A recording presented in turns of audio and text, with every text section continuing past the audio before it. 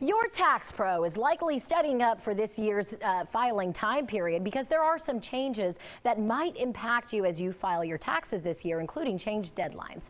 7 News' Christine Scarpelli is live with tax professionals in Greenville to give you a heads up on what to expect.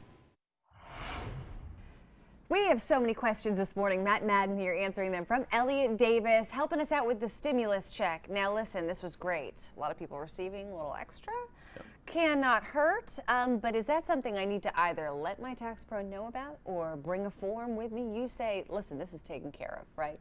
Well, so uh, yes, it's taken care of from some perspective, but you know, it was great. People got stimulus checks back, you know, in the spring, sure. and then now we've got another round of stimulus checks that are in the process of going out. Some people have already received them. A lot of people have. Uh, but from a tax perspective, you should not have to pay taxes on that stimulus check that you received. Good news. However, there is a form that you need to fill out because of that stimulus check. And it's really not only to make sure that it was a, a valid stimulus check, right. but also maybe you missed out on money you could have got through the stimulus check That's or um, your income changed and you're eligible now. So that new form is something that's definitely important for people to talk to their tax advisor yeah. about to make sure they take advantage of. If you don't fill out that form, if that's something maybe you forget or your tax pro forgets. Correct. Yeah, do do? it's something you can miss out. I mean, yeah. completely. So it's definitely something if you're doing your return yourself, you're doing it through the IRS website you that you need to take advantage of um, ah. and look at. Okay. Hey, if um, that's something I need to bring with me to a tax appointment, if I am having someone do it, or not so much.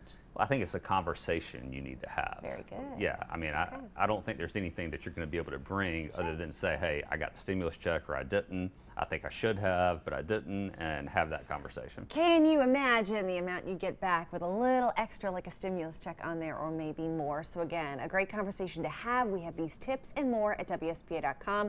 If you need any more help, IRS.gov. You can even file taxes free there. Done the website for you, and we'll send it back to you guys. Well, it is 8.51 and Carolina Morning will be right back as you take a live look at downtown Anderson.